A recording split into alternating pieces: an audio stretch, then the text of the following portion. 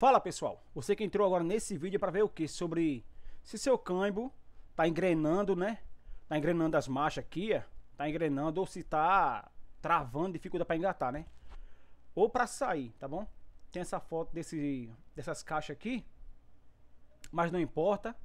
Tem outras várias aqui também, ó, tem muita foto aqui, ó, de muitas caixas, muitos modelos de caixa. Ou seja, todas elas elas fazem isso, engrena. As caixas automáticas ou automatizadas, né?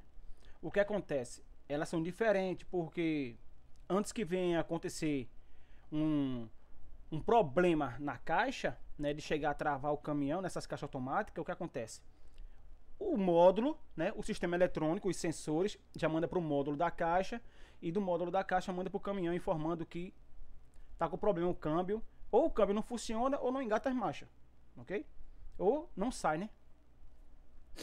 Então, esse vídeo hoje é para você que está procurando essa informação. Espero que você se inscreva e deixe um like, compartilha, tá ok? E se quiser aprender mais sobre mecânica, alguma, por algum, alguma coisa sobre sistema de freio pneumático, vou deixar, ou se tem alguma dúvida, vou deixar nos comentários fixado o número de telefone. É para serviço, ok? Lá, se você tiver com algum problema e quiser que eu lhe ajude, alguma assistência, Vá nos comentários, lá você vai ver as informações. Mas antes, assiste logo o vídeo. Quer ver só? A caixa de marcha, eu vou fazer assim. Digamos que você, que eu tenho dois computadores, tô olhando aqui, dois monitores no caso, né? A caixa de marcha, o que acontece? Como vocês estão vendo, tem três tipos de caixa aqui desmontada. Essa daqui, se não me engano, é uma... Aquelas caixas Ito de 5 marchas, né? Aquela Ito ou ZF das F4000, Mercedinha, as caixas mais pequenas. E aqui é uma caixa marcha que é daquela do Focargo, né? Só que essa aqui é sincronizada, ela tem conjunto sincronizador. Tem também ela do modelo caixa seca. Aqui também é uma caixa marcha da Ito, só que, se não me engano, acho que é com as 6 marchas, ou de 6 ou de 5, tem esses, dois, tem esses dois modelos. Tá ok? Então o que acontece? Não importa. Aqui também está vendo aqui uma foto, ó. Tem essa foto aqui dessa caixa. Essa caixa daqui, essa daqui, desmontada. Tá ok? Essa desmontada. Então o que acontece? A caixa de marcha.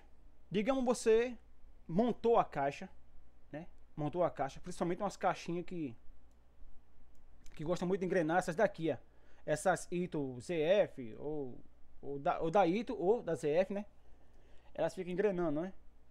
Então o que acontece? Muitas vezes essas caixas quando vem engrenar assim, você desmontou ela, montou e ela tá engrenando, principalmente na quinta, né? Na quinta ou a, ou a, quinta, a ré não. É a quinta ou a ré, porque as duas juntas.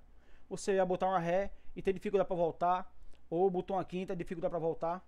Isso pode ser várias coisas, tá bom? Várias coisas mesmo. Eu não vou falar sobre redução de caixa, nem transferência da caixa. Não vou falar isso, mas eu vou falar para vocês o que? Deixa eu colocar aqui porque fica melhor. Eu vou falar o que para vocês? Vou falar aqui os problemas que você vai chegar a identificar, se realmente dentro da sua caixa, se é fora, isso aqui. Ou seja, você montou, desmontou a caixa, depois montou.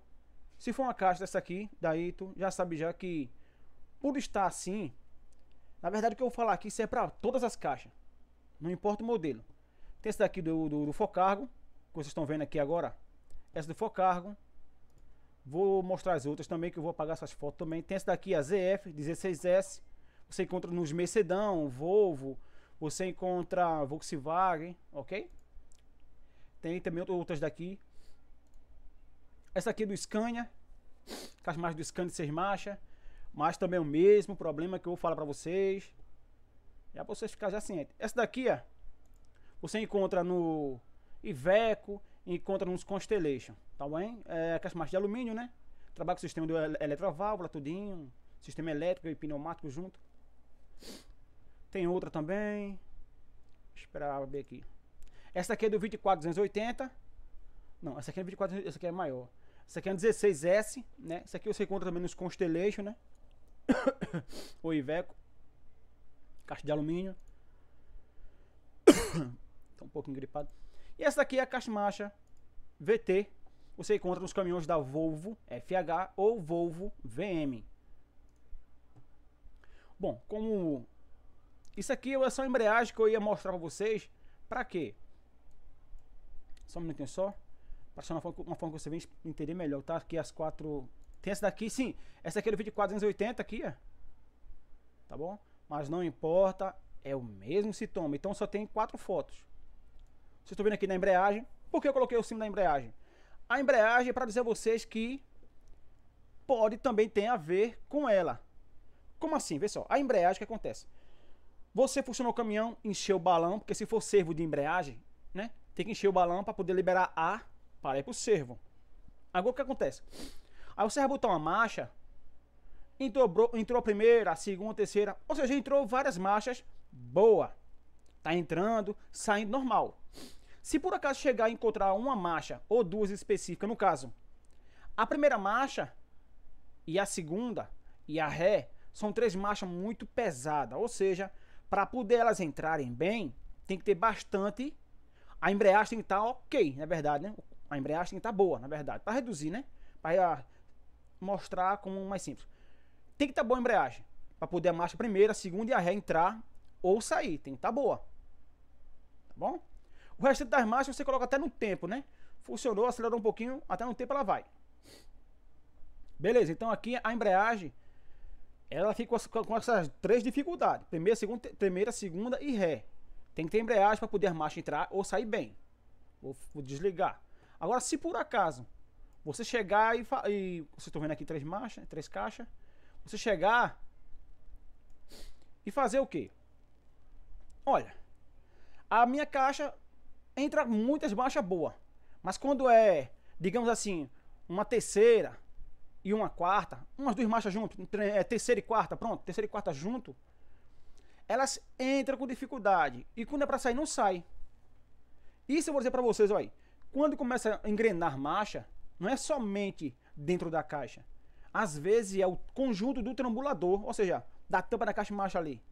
Aquele conjunto trambulador, né, que é onde pega a alavanca, pega os cabos da, da, da alavanca de marcha, onde pega as partes das eletroválvulas, né? Aquelas válvulazinhas pequenas, circuito de mangueira, é, é parte de sensor. É um trambuladorzinho ali, para quem, pra quem, quem conhece, já sabe, para quem não conhece, pega essa dica. Então, num trambulador, ali às vezes pode acontecer do, do, do pino, né, que faz um movimento dos garfos. Pronto, aqui, ó. Esses garfos aqui, pega um, tem um pino no trambulador que fica fazendo o conjunto aqui, ó. Mexendo aqui nos, no, no, nos garfos, né? Vamos fazer assim para arredondar logo um exemplo. Fica mexendo no, no, nos garfos e fazendo trocar de marcha. Às vezes, a embreagem, o, a embreagem está pesada demais, né? E a pessoa quer colocar a marcha e força mesmo a alavanca, força sem pena. Alavanca, aí força os cabos ou alavanca de marcha. O que acontece? Quem recebe todo esse impacto é o pino do trambulador. Ok? Pino do trambulador. Eu já peguei bronca dessas caixas de marcha aqui, ó. A pessoa botava várias marchas, só que chegou um momento que ele forçando, cara, a embreagem estava ruim, ele forçando, quebrou o pino aqui, creio, o gafo. Esse gafo aqui, nos, pronto, nos gafos. Um, dois, três.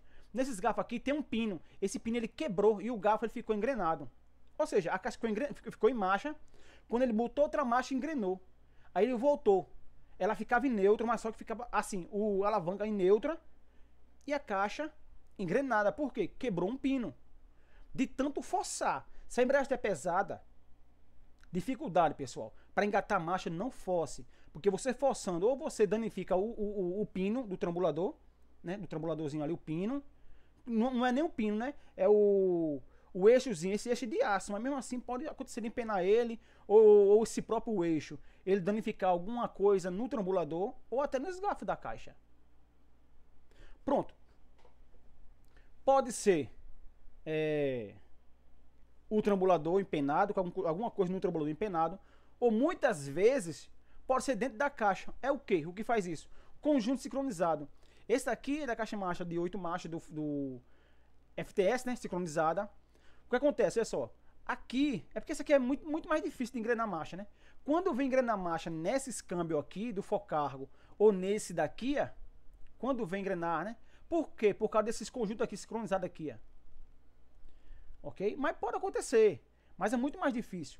Quando essas caixas vêm desses problemas, ou é folga dentro da caixa, entre aqui, ó, entre o eixo primário, cadê um... Pronto aqui mesmo. Entre o eixo primário Né? Que essa, essa aqui tem um eixo primário aqui, ó. Pronto, aqui. Esse aqui é o eixo primário, porque a foto não pegou bem.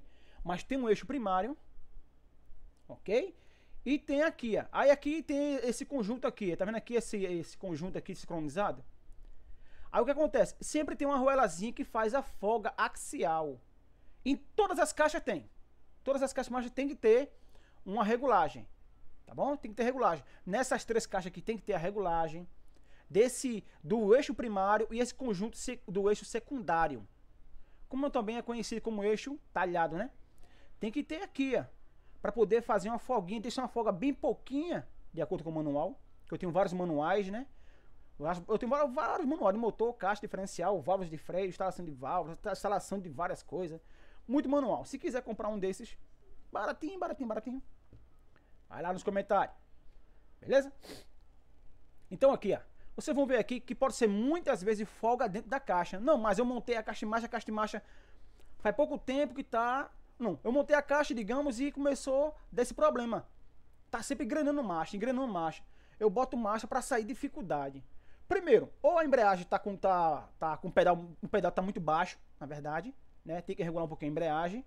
Cuidar para não regular demais, para poder. Se regular muito, pode fazer a embreagem patinar e se desmanchar o disco e só outra embreagem. Ou seja, se a embreagem estiver ok, joia. Então, quando você está botando marcha, pode ser dentro da caixa. Ou a, aqui está com muita folga. E o que acontece? Quando você bota a marcha, a, o conjunto aqui, ele empurra o conjunto. Quando você bota a marcha, né? A alavanca ou empurra o conjunto para trás, esse conjunto todo aqui para trás. Ou, dependendo da massa que você colocar, empurra para frente. Ok? Aí dá essa dificuldade. Alguém pode, ser, pode, pode, pode até falar, não, mas quando meu caminhão está descendo, ele tá para baixo, de bico para baixo, eu boto marcha, entra tudinho, entra, sai tudo normal. Beleza, então, mas quando ele tá num, num plano, ou quando ele tá subindo, ele começa a engrenar a marcha, então pode ser folga dentro da caixa. OK? Dentro da caixa. Agora, ou seja, esse problema, né, de que eu falei agora para você, então pode ser dentro da caixa, que é essa folga aqui axial.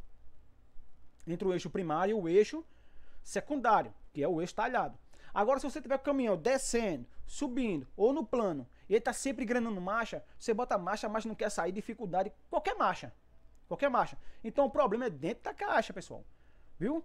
Pode ser o conjunto, é, é, pode ser a folga, mas pode ser também o conjunto luva de engate, aqui, aqui dá para ver aqui, eu acho.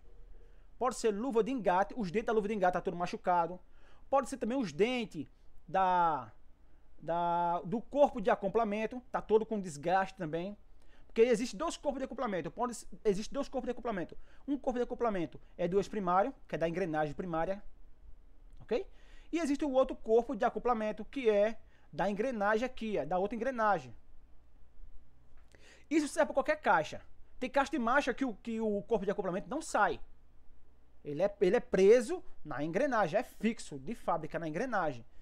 Então, quando começa a engrenar assim, ou é o corpo de acoplamento com desgaste, né? Os dois, os dois, ou é a luva também com muito desgaste ou folga dentro da caixa, pessoal. Beleza? Deixa eu deixar vocês verem aqui essa foto aqui, ó. Tá vendo como é que é? Desse jeitinho aqui. Eu vou fechar. Tem esse aqui também, ó, da caixa mais sincronizada. E tem também esse aqui da caixa marcha. Beleza?